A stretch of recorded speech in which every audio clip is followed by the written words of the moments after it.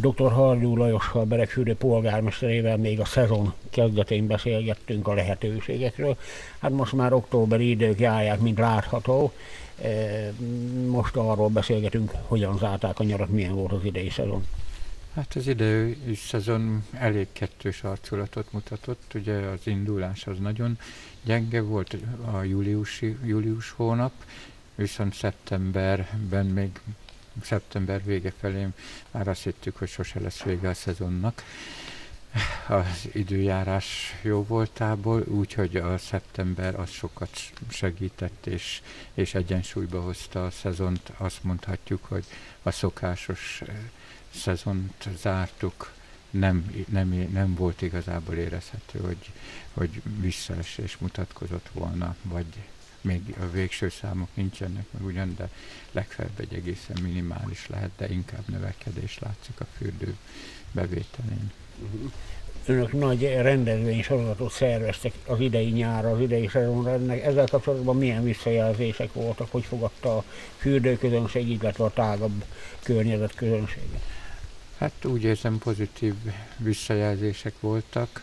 Általában zajos rendezvényt nem sokat szoktunk egy év, e, a szezonban csinálni, egyet, esetleg kettőt, hogy éppen azért hisz ide a, a pihenni vágyók, a nyugodt környezetet szeretők jönnek, és még az a zajos is, még néha a, azok, akik abszolút a pihenést szeretnék választani, azok, azoknál egy pici kis visszatetszés volt, de de általában a többség azért ezt, ezt nem csak hogy tudomásul vette, hanem élvezte, és igénye is megvan rá. Az önkormányzat milyen mérleggel zárhatta a szezont, illetve zárhatja lassanként a, a, a, a jövő, ezt az évet, illetve hogy most már elkezdődhet a jövő esztendei költségvetésnek a készítése is. Hát a elképzeléseink szerint alakul, úgy látjuk az önkormányzatnak a bevétele és kiadási oldala is. Bizonyos fejlesztési dolgokat el tudtunk indítani, el, tervezést el tudjuk indítani a fürdő fedett részének a, a beruházásához, ott várjuk a pályázat kiírását, úgyhogy nem, nem zártunk ebből a szempontból rossz évet, valamelyes sikerült, a, sikerül úgy tűnik az adóságállományunkat is csökkenteni, úgyhogy egy kifele láb, pénzügyileg is egy kifele láboló időszakot kezdünk élni.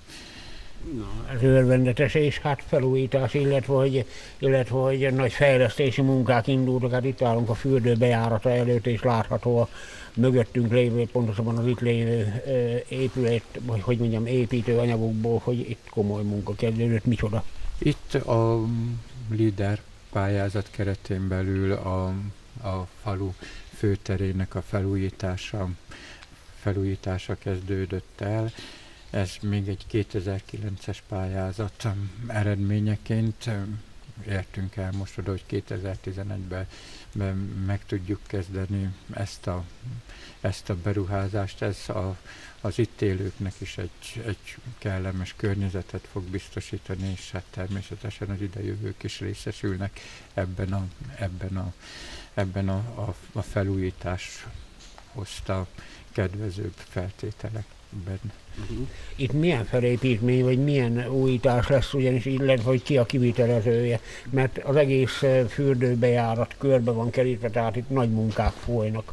A, ez a, ez a elsősorban úgynevezett parkosítás, illetve a beton az aszfaltnak a kicserélése, illetve egy, egy művészeti alkotás elkerülé, felállítására is sor fog kerülni, a tér rendezését is, és az, ennek a, a felújításnak a, az irányítását Györfi Lajos szobrászművész végzi, az ő elképzelései alapján, alapján készült el a, ennek a parknak a felújítási terve is, és ő is a kivitelezője.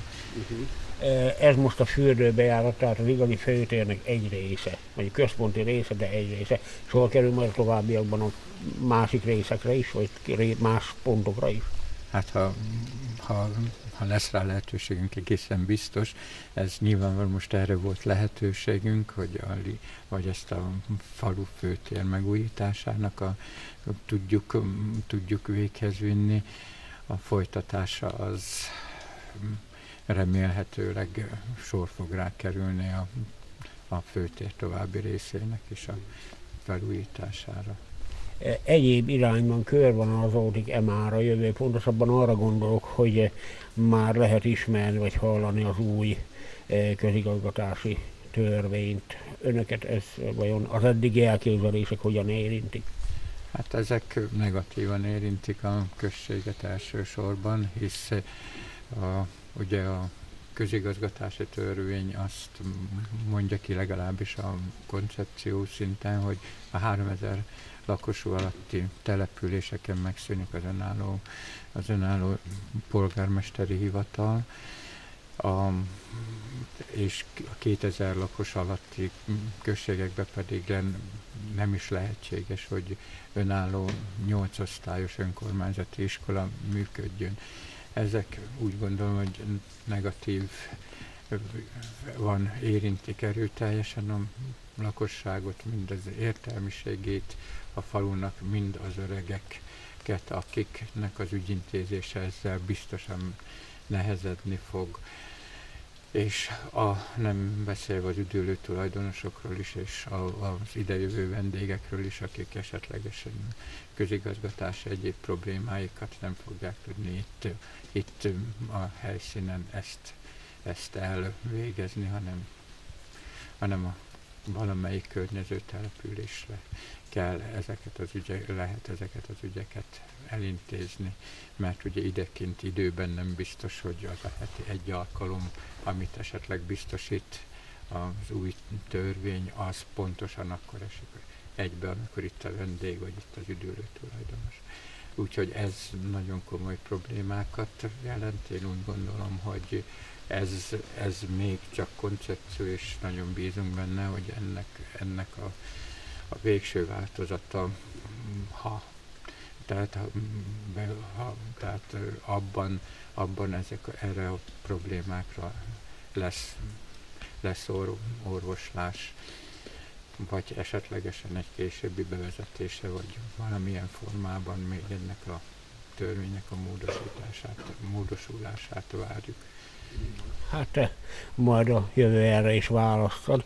Mikor fejeződik be az építkezés itt elő? Mert rossz, rossz idők jönnek, illetve hogy már vannak. Ez elvileg december 20-a műszaki átadás időpontja. Nyilván az időjárás ebben ebbe beleszólhat, de bízom benne, hogy műszaki december 20-án átadásra kerül sor.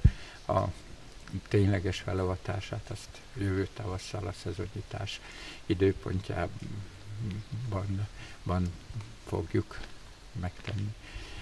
Nagyon szépen köszönöm a beszélgetést. Én is, én is köszönöm szépen.